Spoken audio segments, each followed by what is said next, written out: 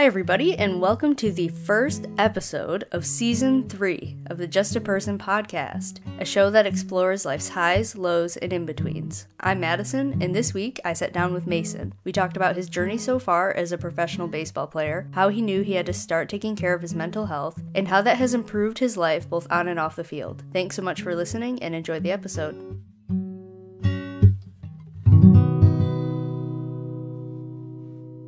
Hi, Mason.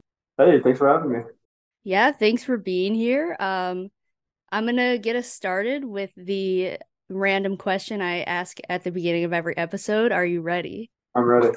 All right. Ooh, describe yourself in high school. All right. Um, I think baseball is my biggest identity. I was um, laid back, uh, worked pretty hard in classes, uh, didn't go out or do anything fun or wild really. I did one time. That's about it. I don't know. I felt like I was friends with a lot of people and fit in a lot of different circles. Yeah, I would say I was much different than I was now. Maybe a little less. Like I think I lived a little less aware of things going on around me, but I say it's pretty similar. Just laid back on like a lot of uh, good friends with a lot of people, and yeah, that's about it. Did you go to a pretty big high school? Yeah, we had um, 360 kids in my grade, and now the high school that I went to has doubled in size since I left five years ago. Okay. Um, for me in high school, I went to a pretty small high school, but I was just like pretty quiet. I don't know. I, I played sports, but I would say I was just pretty quiet, but try to be friends with everybody because I think I think it's like weird, especially in a school of the size I went to, to be like really clicky because there wasn't that many kids. Yeah, I don't know. That's I think it's tough to uh, describe yourself. Yeah, for sure. I was yeah, it kind of got me. I was like thinking back because I felt like I was a few different people in high school, but yeah, it is hard to kind of think back and look at that. Like if I went, I went to school with myself, who would I think I was? And I would like to say, like, no matter what group of people I was, if I were to meet myself, I would have like had a pleasant experience. At least would have felt like I was cool to everybody, you know. It'd be interesting to, I guess, ask like your friends from high school, or like to see how they think you've changed to now. You know what I mean? Yeah, I remember thinking like uh, I tried to have as many little like personal things with as many people as possible. Like even if it was just throughout the you know walking to classes, you pass the same people for the most part during the day. I'd have like little inside like ways I'd say what's up or things to do with like somebody that I may not even talk to, but like twice a year, but like maybe I don't even really know them. But for some reason, I just try to have like a personal positive interaction with a few different uh, or as many people as possible. I do remember doing that like hallways and stuff. I don't know, I had a bunch of weird inside jokes with people I didn't really know, but it was fun. I guess my parents helped me out with that there always teaching us to be good to people. So trying to like spread all positivity always. So I guess speaking of your parents, uh what where are you guys from? Uh, what was your life like growing up? Um, we're from well, I was born in Alpine, Texas, which is like small town uh, West Texas, and then I moved to the Dallas area, a little bit east of Dallas, when I was um, like two years old. So that didn't uh, I guess you know I, have vivid memories of or like a few memories of like the first place I was born. But we lived in a place called Mesquite, Texas, which is one city east of Dallas. Um, and my parents still work there. Went to school there through fifth grade, sixth grade, um, and then decided to go to Forney, which is another city over east, um, just because we thought it was going to be a better situation for high school, which ended up being a lot better. Um, but yeah, I just grew up a little bit around Dallas. Like uh, my free time, fished a lot with my dad. spent a lot of um, I think I had a lot of important morals like um, instilled on me with like just regular things like eating family dinner every night, um, hanging out with family, having a close knit family, and a good relationship with my sisters. So that was pretty much how I, how I grew up, just being uh, close with my family. Now, uh, you're so you're from Texas, and you've lived many other places since because you play baseball. Do you feel like that some all of those values and things are easy for you to take with you and even though you're going to like different places where they might have different values?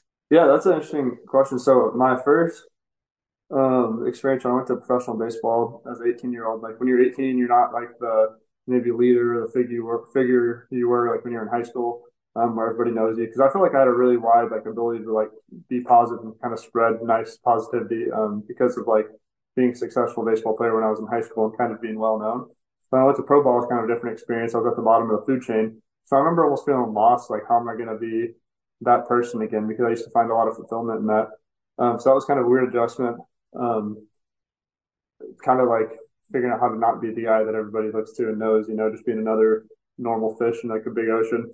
um, you know, values. Like I definitely, they definitely translated over because I have a lot of like friends that I ended up being a good relationship with, but I had a few friends that were like close family type relationships with. Um, and so I think that's something that I naturally sought out was like people to have deep connections with. Um, and I have a few friends that I've been friends with for the past five years from pro ball that are extremely close because I think they share the same values that I do and we have each other's backs, that kind of thing. So I think my family and my upbringing like really allowed me to surround myself with really positive and good people on a deep level.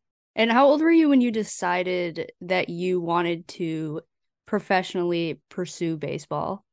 Because you started playing professionally when you were 18, but like how old were you when you decided that you wanted to go for that? Like since I was like four years old. Like seriously, that's all I thought. Like I committed to Texas A&M to play baseball. Um, because you can commit and then still sign professionally. So I committed my freshman year, but like I never had any intention of going to Texas A&M. Like that was like not an option in my mind. Like I didn't want to do that because I felt such a strong pull or calling to come and play professionally as an 18 year old. Um, so like basically since I was like four years old, that's all I've for like every second when I when I do baseball stuff, you know.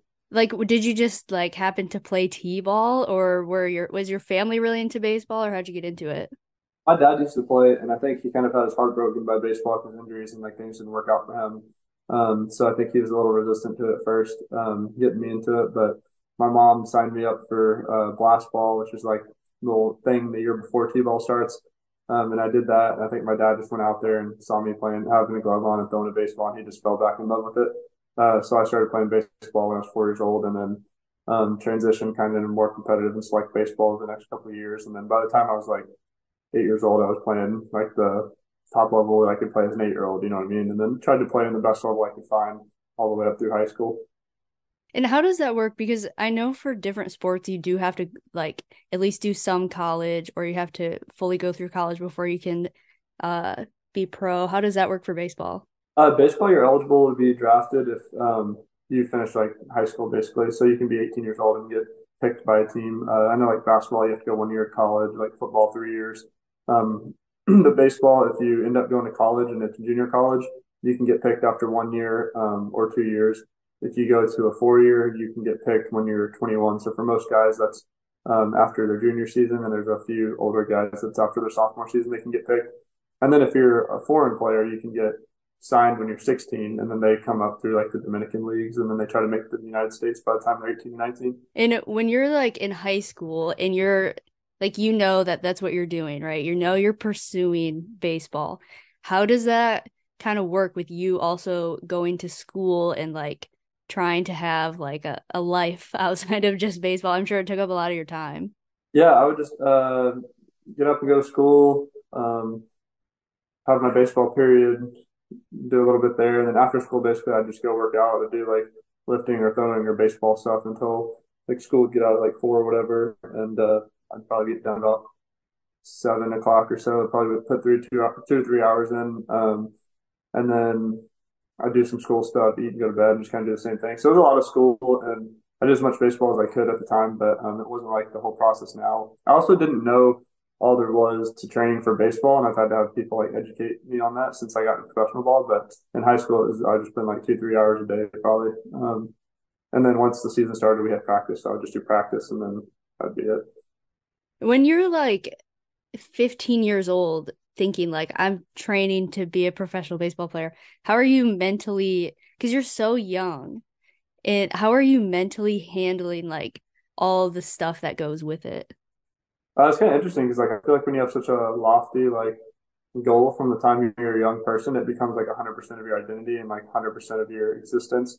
And it's kind of like a dangerous thing because you don't know that that's happening, but it just happens naturally because that's all you're doing. Um, so every day I'm seeing myself as an MLB player, and it becomes literally like my only thing in existence is like I'm either going to be a baseball player or I'm going to be a failure, like that kind of thing. Um, coming up through high school is interesting. Like I got I got some good practice experiencing like pressure because I play like the showcases and there was college or professional scouts there. Um, but even at those levels, I never failed because I was like a lot better than the competition. That's usually how it works with guys that end up playing professionally out of high school you never really experience like what it means to fail as a baseball player until you get professional or college. Um, so I didn't really, I just kind of coasted through. Like I felt like I just played good. I did good.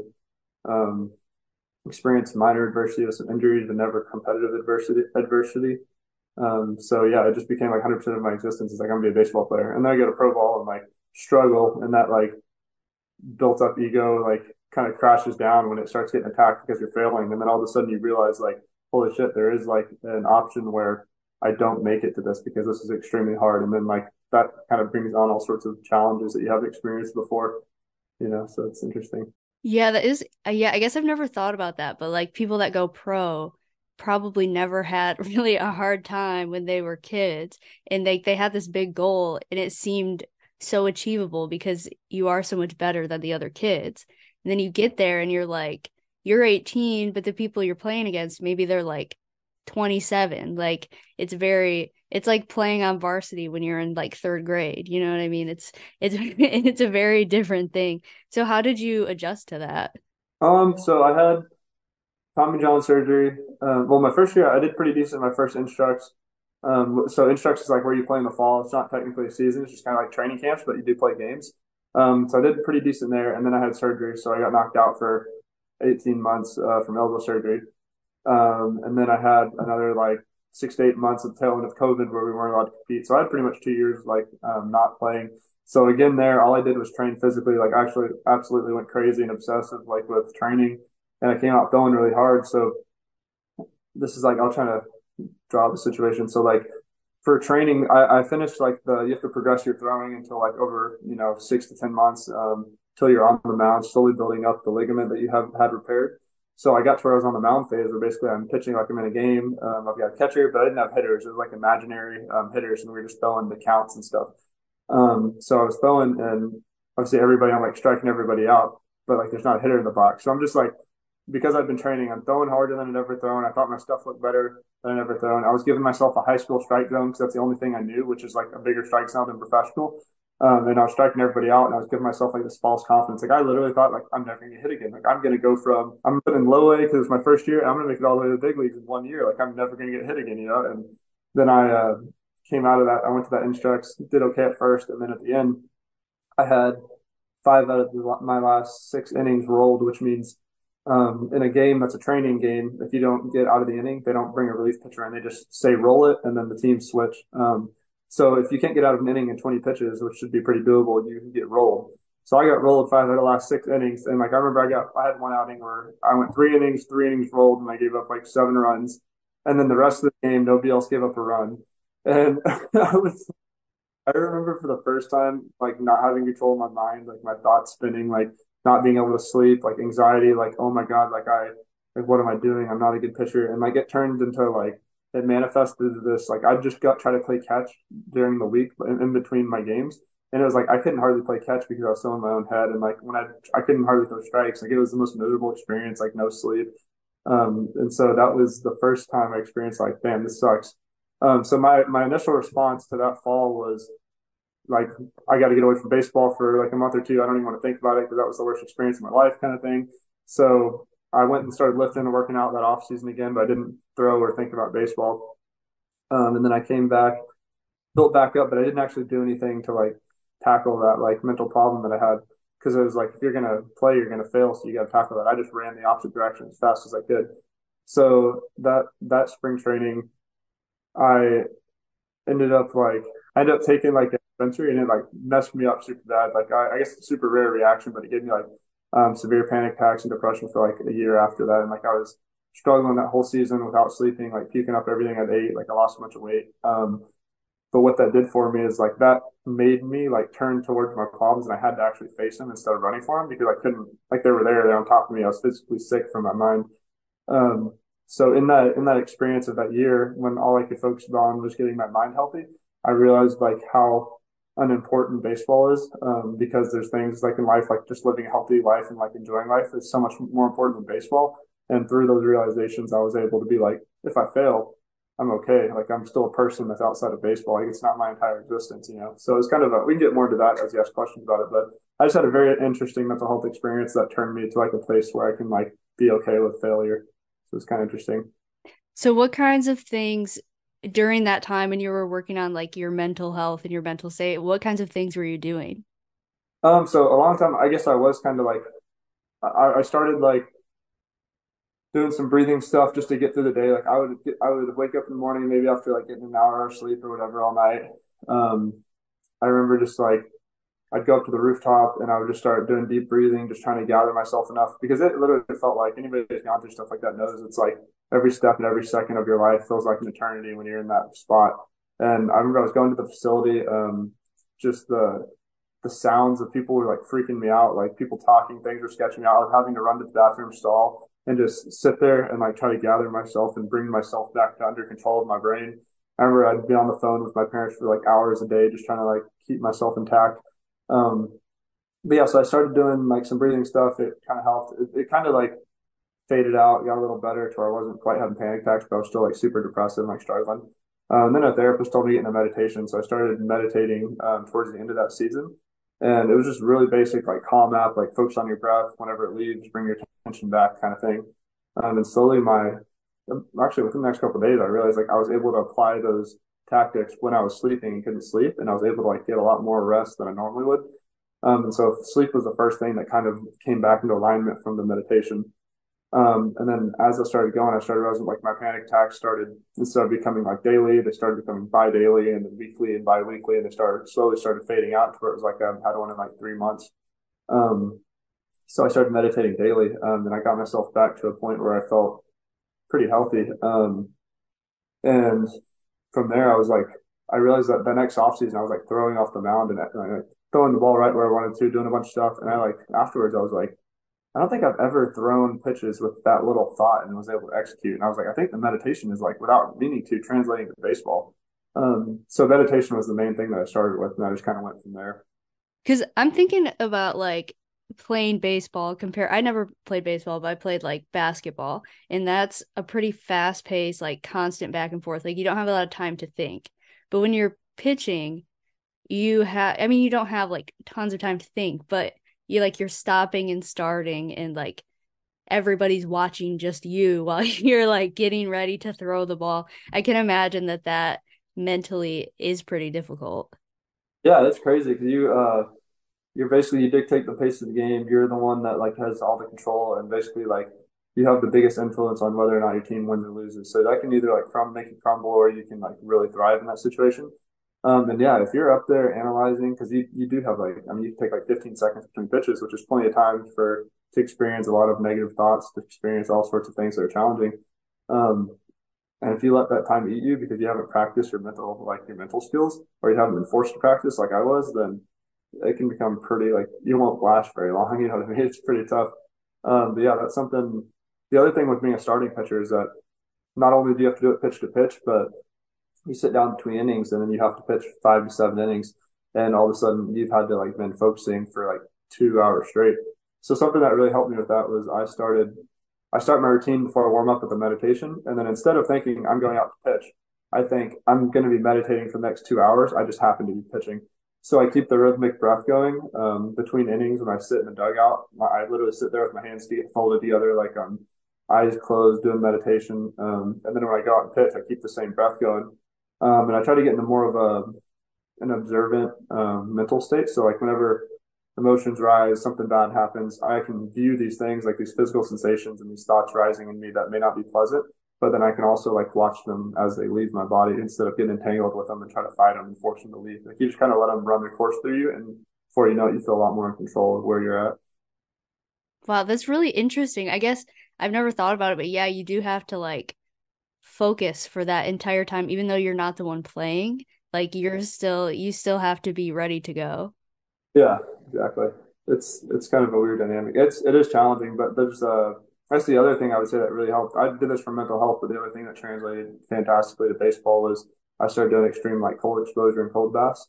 Um and just for like people that are listening like cold baths can do stuff physically. I think a lot of people look at it as like a recovery aid for your body, but really, I think the biggest impact is what it does uh, psychologically. So like it increases like your neurochemicals, like your uh, your neurotransmitters, dopamine, norepinephrine, like um, it makes your cortisol go up, and basically all these different uh, transmitters like work together, and they're what like works when you're focusing. So if you can get in a cold bath and spike your spike these neurotransmitters, you're going to have like more more for your brain to pull from to allow you to focus for longer and to focus more intensely. Um, and then the other thing is when you get in a cold bath, it's really uncomfortable. It sucks. You've got all sorts of negative, like this is dangerous. You got to get out. Like you got pain all over your body.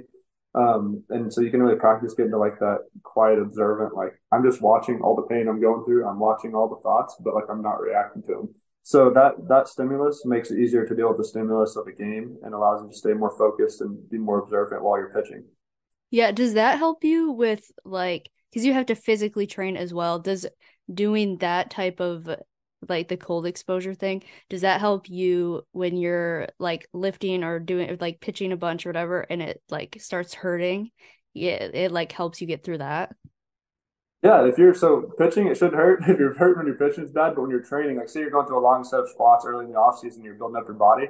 It is really uncomfortable, um, or even just the duration of these two three hour workouts can be pretty like mentally like, damn, I'm done. I don't want to get through this. But yeah, when you when you do the cold bath, like it literally makes you feel like sensations that are uncomfortable in the future.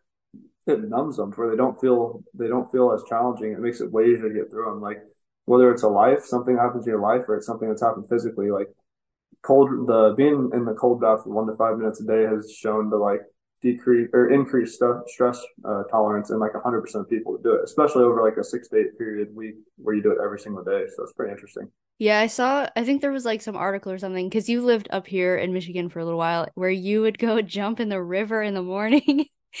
I was like, oh my gosh, I've never heard of that before, but if it works, it works. Also, yeah, I'd go down there and like I love the challenge of that. So I'd usually walk down like in my swimsuit and stuff and flip flops, and it's like you know it'll be like a foot of snow sometimes. My toes are freezing. Um, and I remember people walking by. It was so funny. They'd like stop. I remember one time I was laying back doing my breathing. Um, had my head on like a block of ice in the water. I, like heard something to my right. I opened my eyes and looked over, and there's like a girl behind a tree, like recording me. And then when I saw her, she like scurried off. so funny. But yeah, I had another girl uh, that was like, she actually ended up recognizing me as being Ella's boyfriend. But she was like, I'm gonna be honest, when you were getting out, I thought you were a crazy homeless person.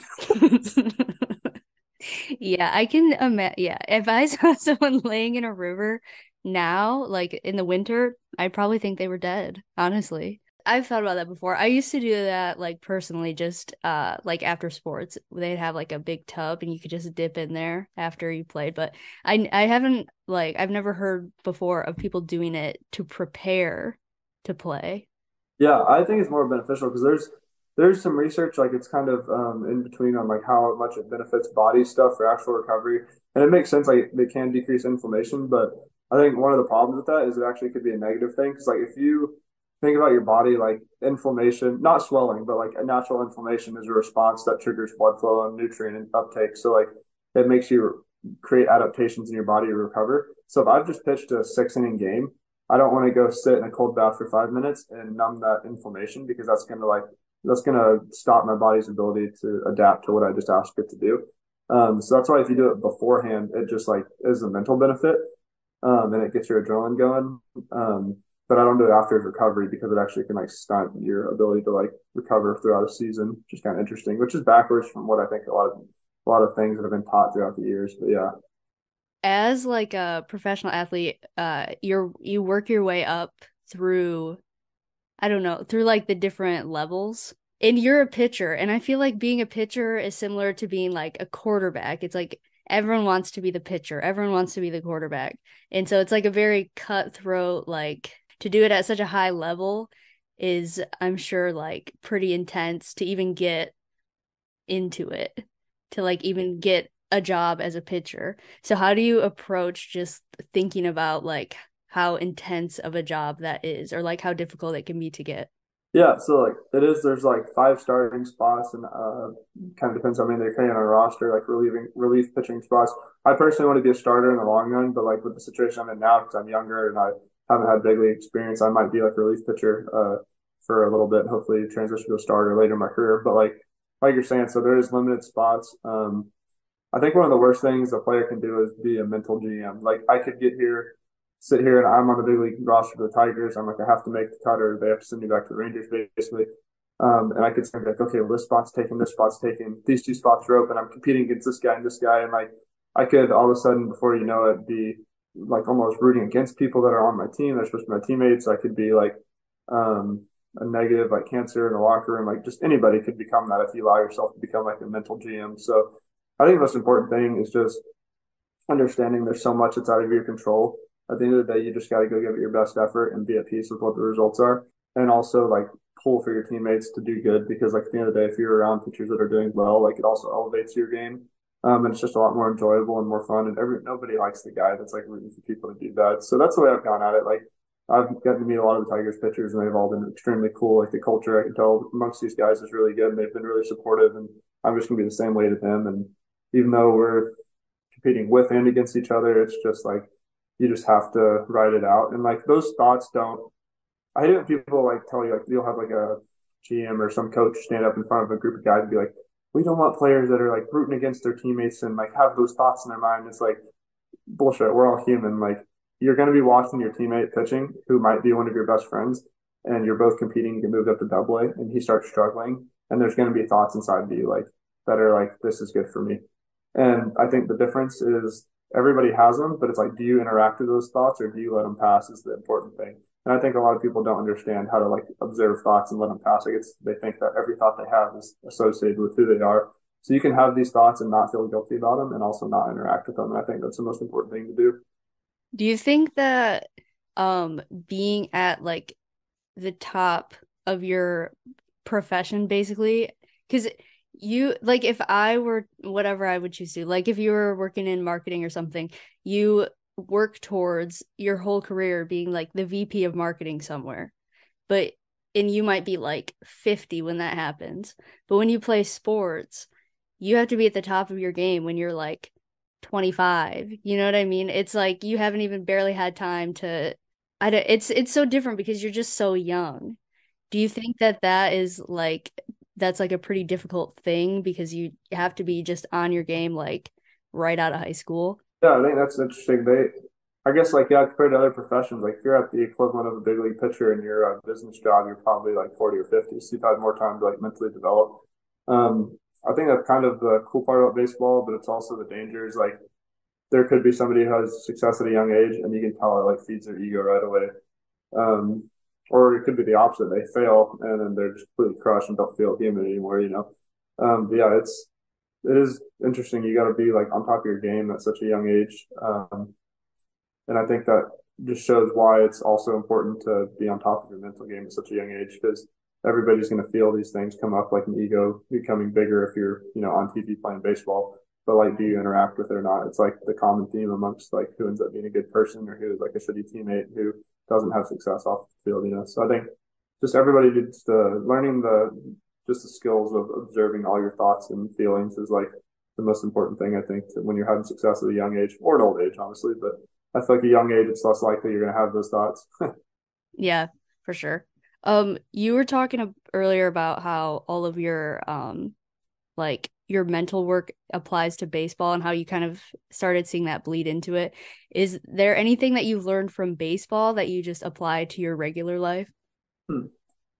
I guess um, I'm pretty competitive and might get going about things like that. That switch, I, I like to think like um, it's almost like this like warrior mindset. Like it's like this if you read, there's like a book I'm reading, they talk about like uh, this guy is a, a Navy SEAL wrote it. He was saying that like Navy SEALs are absolutely when you're hanging out with them, some of the most relaxed, like loose, funny, like friendly guys you hang out with. But they have like a mode they flip the switch into, and like that competitiveness like can come out or that like killer instinct, whatever. So it's kind of similar to baseball. It's like a lot of elite baseball players are so relaxed and so like chilling guys, and I feel like that is a good way to describe myself. But then certain things can trigger that response just to get flipped. Um, and all of a sudden, you know, you're surrounded by people who don't usually don't know how to interact with that because they like don't they don't play a sport or whatever. And then like you're uh, maybe saying something or, like offended somebody. Like even playing a family board game on a on a Sunday night. I did this one time and I like got fired up and dropped the f bomb. And Ella's mom is like, "We don't say that." like, like it just that so it's, it's not translating my life in a positive way though. Is that I found that in a lot of situations I can tap into like a different competitive nature that uh, I don't know if a lot of people have if they haven't played sports at high level. My last question I always ask people if they have any advice for um it could be a professional baseball player but more widely like people that are striving to be kind of at the top of their field or the best that they can be at what they're doing. Yeah, I think um hmm, this is a deep question. Could be. um, I think everybody needs to proactively like work on their mind. Um, gosh, it just it's so hard to say because I heard that my whole life, and I just thought like, ah, whatever, I don't need to work on that until you know life for your your own brain, like mine, smacks you in the face.